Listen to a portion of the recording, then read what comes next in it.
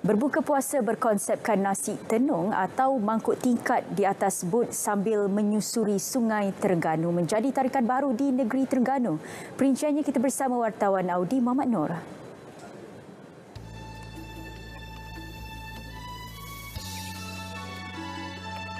Anak Syarikat Negeri Terengganu KAS Liga Senior Berhad mengambil inisiatif memperkenalkan berbuka puasa di atas bot payang water taxi sambil menikmati keindahan Sungai Terengganu.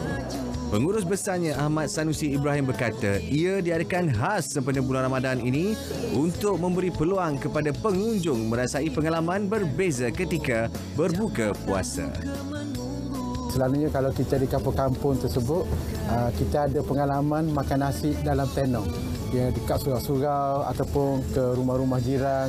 Jadi kita bawa nostalgia tersebut kepada pengalaman makan nasi dalam tenong di atas buk. Menurut Timbalan Pengarah Tourism Malaysia Wilayah Pantai Timur Muhammad Azizul Arif Yahya, inisiatif ini juga dapat menarik pelancong bukan sahaja tempatan malah negara luar. Uh, pada pandangan saya memang perkara ini yang kata apa, menjadi salah satu produk baru lah yang boleh diketengahkan yang mana uh, patut diteruskan pada bulan-bulan biasa saja dan bulan-bulan biasa juga uh, bukan hanya pada bulan Ramadan.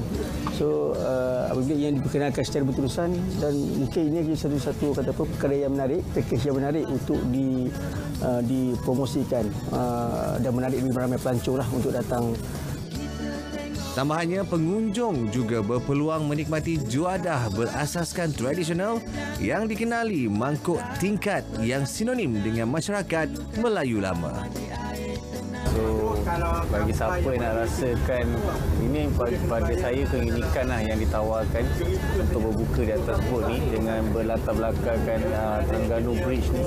Satu benda yang uh, boleh dipanjangkan. Satu yang menarik lah sebab sambil layan makan kita boleh feel angin kan.